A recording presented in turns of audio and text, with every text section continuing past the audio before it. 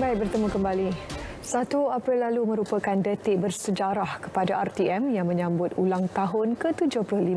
Sejajar kematangan usianya, RTM Sabah terus tampil unggul sebagai peneraju utama penyiaran informasi yang tepat dan sahih kepada masyarakat menerusi lima stesen radio selain pelbagai program menerusi saluran TV. Kita ikuti laporan wartawan Magdalena Depol. Sejarah penyiaran di Sabah bermula pada tahun 1939 dengan ulasan selari perlumbaan kuda dalam bahasa Inggeris dan disiarkan melalui talian radio telefon kesandakan yang dibuat di Jesselton yang kini dikenali sebagai Kota Kinabalu. Sebagai suara penghubung antara kerajaan dan rakyat, RTM Sabah terus utuh mendepani cabaran serta memacu peranan menyebar maklumat sahih dan terkini. Slogan teman setia anda sesuai menggambarkan peranan RTM sebagai pejuang agenda penyiaran negara seiring peredaran zaman memenuhi cita rasa penonton dan pendengar pelbagai peringkat umur turut dilancarkan pada sambutan kali ini logo baru lima stesen radio RTM Sabah iaitu Sabah FM, Sabah BFM, Sandakan FM, Tawau FM dan Keningau FM. Ketua Menteri Sabah Datuk Seri Panglima Haji Jinor ketika melancarkan sambutan ulang tahun RTM peringkat negeri berharap RTM terus menghasilkan rancangan menarik yang mampu membina minda rakyat. Kita boleh melihat bahawa Uh, sebagai lidah rasmi kerajaan RTM telah menyampaikan maklumat yang tepat yang begitu berkesan kepada rakyat selama ini.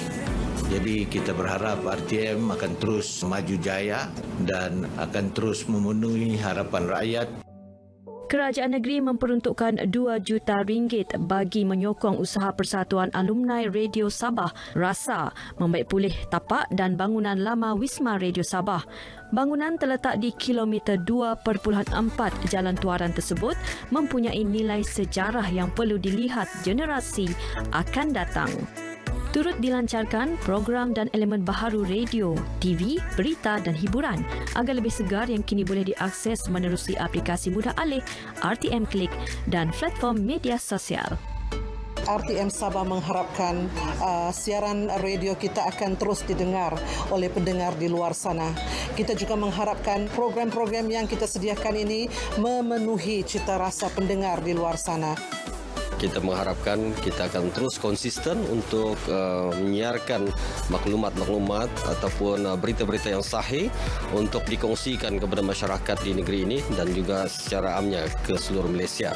Dan kita juga senantiasa bertanggungjawab untuk bersama-sama seiring dengan kerajaan satu rancangan baru iaitu Versus, sebuah rancangan bicara wara hiburan secara santai yang memberi peluang kepada anak-anak seni serta penggiat industri seni di Sabah untuk mempamerkan dan mempertontonkan bakat mereka kepada khalayak penonton sekaligus menyahut uh, seruan kerajaan uh, yang memperkenalkan paket rangsangan uh, industri kreatif Malaysia iaitu Prisma. Mural ini yang menerapkan elemen peralihan siaran analog kepada digital merupakan gambaran transformasi RTM dalam mendepani cabaran sebagai penyampai maklumat dan penggerak dasar kerajaan. RTM, teman setia anda. Magdalena Depol, Berita RTM.